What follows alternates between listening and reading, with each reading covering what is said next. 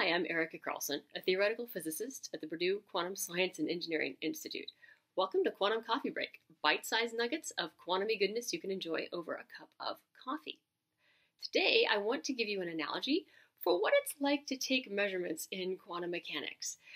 When we take measurements on anything, we mean that we're going to use some equipment, perhaps in a laboratory, in order to measure what's actually happening in the real world. And then those measurements give us back numbers with units, things like energy, like maybe it's one electron volt, or position, maybe it's five angstroms away from the edge.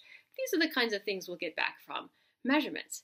Now, a particle, a quantum mechanical particle, can uh, be doing a lot of different things. We've talked before about how the state of the particle is just whatever it's doing, and whatever it's doing is encoded in the shape of its wave. Now, interesting things come up because waves can do just about anything, and so waves can have interesting shapes that may or may not correspond to the measurement you're about to, to take on that particle. When we make a measurement, it's a little bit like asking the particle questions. And here's the crux for quantum mechanical measurements. It turns out that when you make a measurement, only certain answers are allowed, and that set of answers has to correspond to the question you asked. That kind of makes sense, right? If you ask about where a particle is, you expect to get back position information. If you ask, what energy does the particle have, you expect to get back an answer that says the amount of energy. When we take a measurement, we get back only certain answers. The answers have to correspond to the measurement that we asked.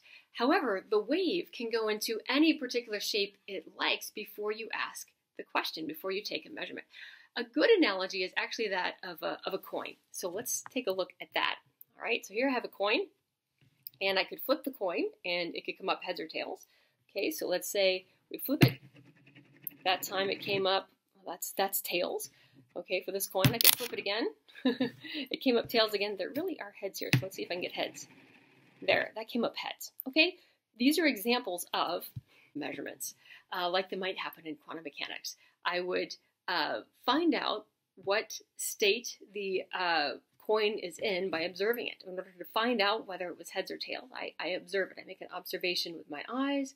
Uh, photons bounce off and uh, off of the object and enter my eyes, and that's how I make uh, the measurement. Now, quantum mechanical particles are uh, allowed to do a lot of different things. All right, so let's let me give you an analogy for some crazy things that can happen when you go to take quantum measurements.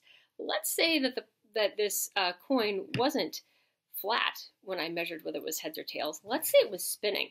Okay, so let's say it's spinning. Oops. no, really, let's say it's spinning. And is it heads or tails right now? It's actually neither. I have to force a big change in the system in order to uh, find out whether it's heads or tails. Let's find out. It's heads. Okay, so this is a good analogy for a lot of times when we take measurements in quantum mechanics. The particle could be doing something that does not correspond to the question I'm about to ask it.